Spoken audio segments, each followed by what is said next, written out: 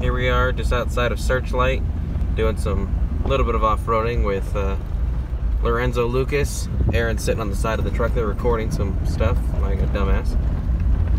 We got Angelo in the 4Runner and myself, Zach, in the Nitro. Warrior Overland Adventures.